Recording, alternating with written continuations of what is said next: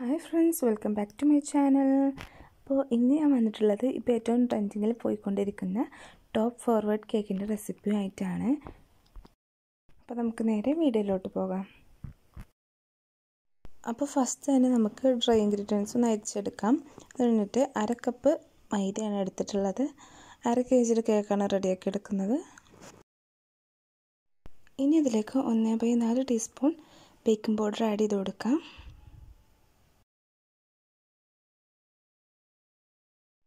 ഇനി അതിലേക്ക് ഒന്നേ ബൈ നാല് ടീസ്പൂൺ ബേക്കിംഗ് സോഡ ആഡ് ചെയ്ത് കൊടുത്തിട്ട് നല്ലപോലെ അരിച്ചെടുക്കാം. ഇത് മൂന്ന് തവണ ചെയ്തെടുക്കണം ഇങ്ങനെ. ഇനി ഇതിന്റെ മുകളിൽ വരുന്ന കട്ടകളൊക്കെ ഒന്ന് അരിച്ചു കൊടുക്കാം.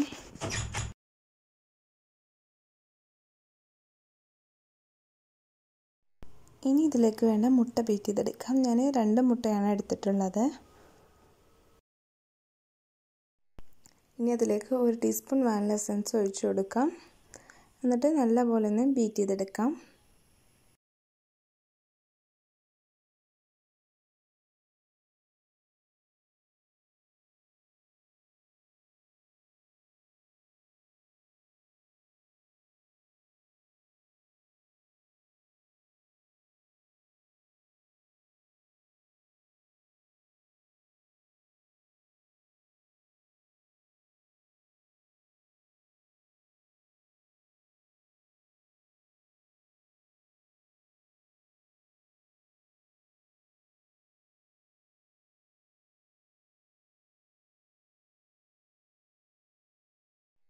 ഇനി ഇതിലേക്ക് പഞ്ചസാര ആഡ് ചെയ്ത് കൊടുക്കാം. അര കപ്പ് പഞ്ചസാര ആഡ് ചെയ്ത് കൊടുക്കാം. എല്ലാം കൂടെ ഒന്നിച്ചിടണ്ട കുറച്ച് കുറച്ച് ഇട്ടിട്ട് ബീറ്റ് ചെയ്തെടുത്താൽ മതി.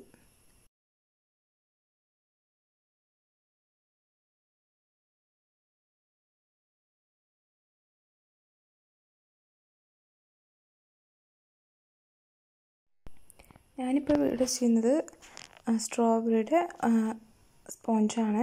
നിങ്ങൾക്കിതിൽ ഏത് സ്പോഞ്ച് വേണമെങ്കിലും യൂസ് ചെയ്യാം.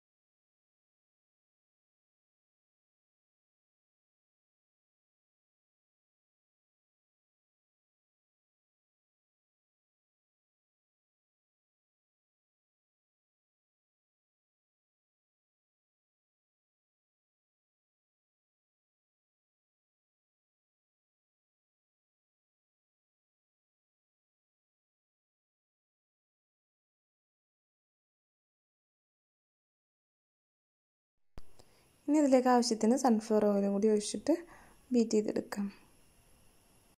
സൺഫ്ലവർ ഓയിൽ ഒഴിച്ചതിന് ശേഷം നല്ലോണം ബീറ്റ് ചെയ്യാൻ പാടില്ല.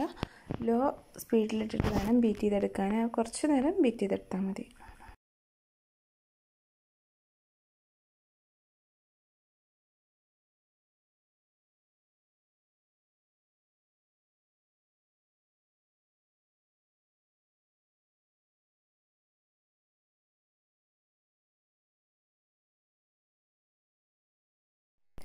ഞാനിവിടെ സ്ട്രോബെറി സ്പോഞ്ചാണ് ഉണ്ടാക്കുന്നത്. അപ്പോൾ അതിലേക്ക് കുറച്ച് സ്ട്രോബെറി എസൻസ് കൂടെ ആഡ് ചെയ്തിട്ടുണ്ട്. ഇനി അതും കൂടി ഒന്ന് മിക്സ് ചെയ്തെടുക്കാം.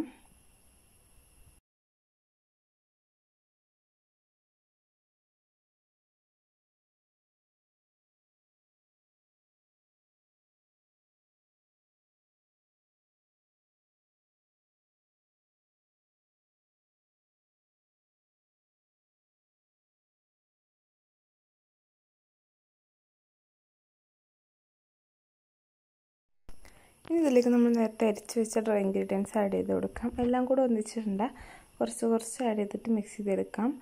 ബീറ്റർ വെച്ച് മിക്സ് ചെയ്യുകയാണെങ്കിൽ ലോ ഫ്ലെയിമിട്ടിട്ട് മിക്സ് ചെയ്തെടുത്താൽ മതി. അല്ലെങ്കിൽ പിന്നെ സ്പാച്ചിൽ വെച്ചിട്ട് ജസ്റ്റ് ഒന്ന് ഫോൾഡ് ചെയ്തെടുത്താൽ മതി.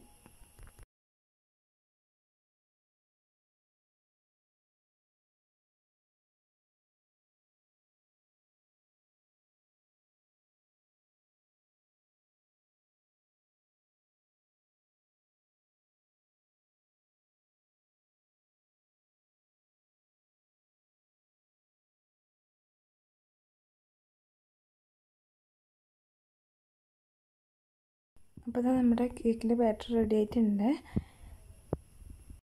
അപ്പോൾ ഇതേ കേക്ക് ഞാൻ ഓവനിലാണ് ബേക്ക് ചെയ്യാൻ പോകുന്നത്. ഞാൻ സിക്സ് ഇഞ്ചിന്റെ മോൾഡറിലാണ് കേക്ക് ബേക്ക് ചെയ്യുന്നത്.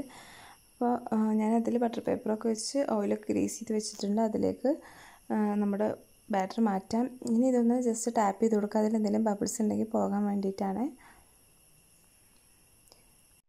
എനിക്ക് ഓവനിൽ ഏകദേശം ഒരു ഇരുപത്തഞ്ച് മിനിറ്റ് വെക്കേണ്ടി വന്നിട്ടുള്ളൂ. അപ്പോഴത്തേനും കേക്ക് റെഡിയായി ഇനി നമുക്ക് കേക്ക് ഐസിങ് ചെയ്തെടുക്കാം. ഞാൻ വിപ്പിംഗ് ക്രീം ബീറ്റ് ചെയ്തിട്ടുണ്ട്. അതിൽ കുറച്ച് സ്ട്രോബെറിയുടെ എസൻസ് ആഡ് ചെയ്തിട്ടുണ്ട്. നമ്മൾ കേക്ക് തണുത്തതിന് ശേഷം ഫസ്റ്റ് ലെയർ അതിൽ വെച്ച് കൊടുക്കാം. ഞാൻ മൂന്ന് ലെയറായിട്ടാണ് ചെയ്യുന്നത്. ഫസ്റ്റ് ലെയർ അതിൽ വെച്ച് കൊടുക്കാം. എന്നിട്ട് ഇനി അതിൽ ഷുഗർ സിറപ്പ് വെറ്റ് ചെയ്ത് കൊടുക്കാം. ഷുഗർ സിറപ്പ് നല്ലപോലെ കുതിർത്തി എടുക്കരുത് അപ്പം നമ്മൾ കേക്ക് തിരിച്ച് വെക്കുമ്പോൾ പൊട്ടിപ്പോവും. നമുക്കതിന്റെ മുകളിൽ വിപ്പിംഗ് ക്രീം തേച്ചിട്ട് എല്ലാ ഭാഗത്തേക്കും ഒന്ന് എത്തിച്ചു കൊടുക്കാം. നമുക്ക് സെക്കൻഡ് ലെയർ വെച്ച് കൊടുക്കാം. എന്നിട്ട് അത് ഷുഗർ സിറപ്പ് വെച്ചിട്ടൊന്ന് വെറ്റ് ചെയ്ത് കൊടുക്കാം.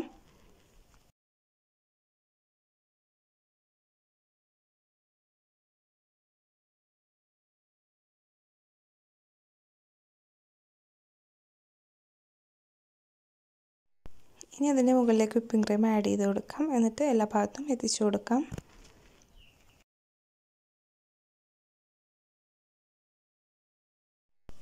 ഇനി നമുക്ക് തേർഡ് ലെയർ വെച്ച് കൊടുക്കാം. അതും ഷുഗർ സിറപ്പ് വെച്ചിട്ടൊന്ന് വെറ്റ് ചെയ്തെടുക്കാം. എന്നിട്ട് അതിന് ശേഷം നമുക്ക് ഐസിങ് ചെയ്തെടുക്കാം. ഞാൻ പിങ്ക് കളർ വിപ്പിംഗ് ക്രീമിലാണ് ചെയ്യുന്നത്. ഞാൻ നിങ്ങൾക്ക് ഇഷ്ടമുള്ള ഡിസൈനിൽ ചെയ്തെടുക്കാം.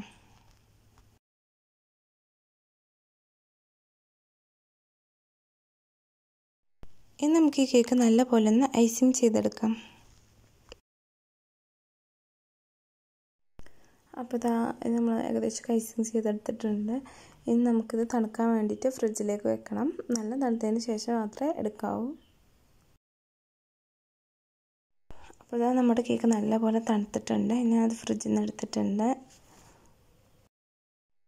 അപ്പോൾ ഇത് നമ്മുടെ മെയിൻ കാര്യത്തിലേക്ക് കിടക്കുകയാണ് കേക്ക് കട്ട് ചെയ്യണം. നല്ല പോലെ ശ്രദ്ധിച്ചിട്ട് വേണം അവിടെ ചെയ്യാൻ അപ്പോൾ നമ്മുടെ കേക്ക് കട്ട് ചെയ്യാൻ വേണ്ടിയിട്ട് ഒരു കാൽ ഭാഗമേ കട്ട് ചെയ്യുന്നുള്ളൂ. അര ഭാഗമൊന്നും കട്ട് ചെയ്യേണ്ട ആവശ്യമില്ല. കാൽ ഭാഗമേ കട്ട് ചെയ്ത് മാറ്റാം.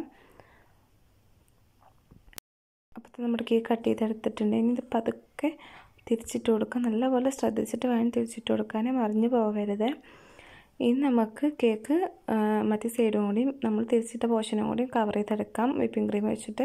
പിന്നെ നമ്മൾ മുറിച്ച് വെച്ച മറ്റേ ഭാഗം അത് നമുക്ക് ആവശ്യമുണ്ട് അത് മാറ്റി വെക്കണം. ഇനി ആ ഒരു ഭാഗം കൂടി ഐസിങ് ചെയ്ത് ലെവൽ ചെയ്തെടുക്കാം. നമ്മൾ നേരത്തെ മുറിച്ച് വെച്ച ആ ഭാഗം നിങ്ങൾക്ക് കേക്ക് വീണ് പോകുന്ന പേടി ഉണ്ടെങ്കിൽ അതിന്റെ കേക്കിന്റെ ബാക്ക് സൈഡിൽ ജസ്റ്റ് വെച്ച് കൊടുത്താൽ മതി. ഈ കേക്കിന്റെ ഒരു താങ്ങായിട്ട് ബാക്കിൽ നമ്മൾ മുറിച്ച് വെച്ച ആ പീസൊന്ന് വെച്ച് കൊടുത്താൽ മതി. അപ്പോൾ കേക്ക് വീഴില്ല.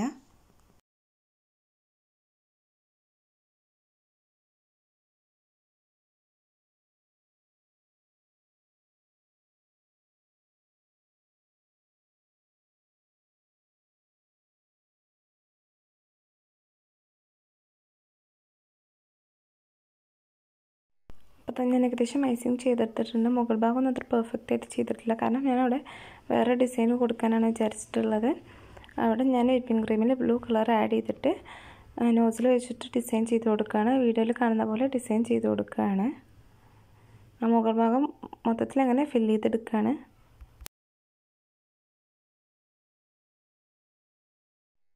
അതിന്റെ സൈഡിലും കൂടി ഡിസൈൻ ചെയ്ത് കൊടുക്കുകയാണ്. എങ്കിലേ കാണാൻ ഭംഗി ഉണ്ടാവുള്ളൂ അപ്പോൾ ഞാൻ ആ എഡ്ജിലും കൂടി ഡിസൈൻ ചെയ്ത് കൊടുക്കണം. ഫ്രണ്ട് ഭാഗത്ത് മാത്രമേ ചെയ്യുന്നുള്ളൂ.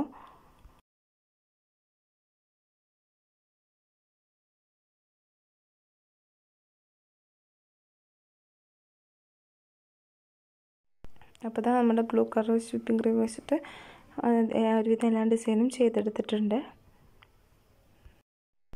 ഇന്ന് നമുക്ക് കേക്കിന്റെ ഫ്രണ്ട് ഭാഗത്ത് ചോക്ലേറ്റ് വെച്ച് കൊടുക്കാം. ചോക്ലേറ്റ് അങ്ങനെ ജസ്റ്റ് പൊട്ടിച്ചെടുത്തതാണ്.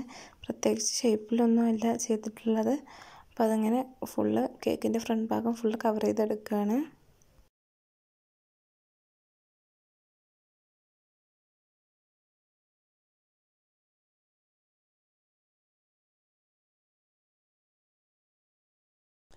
കേക്കിൽ നിങ്ങൾക്ക് ഇഷ്ടമുള്ള ഡിസൈൻ ചെയ്യാം കേട്ടോ ഞാൻ എനിക്ക് ഇഷ്ടമുള്ള ഡിസൈനാണ് ചെയ്തിട്ടുള്ളത്.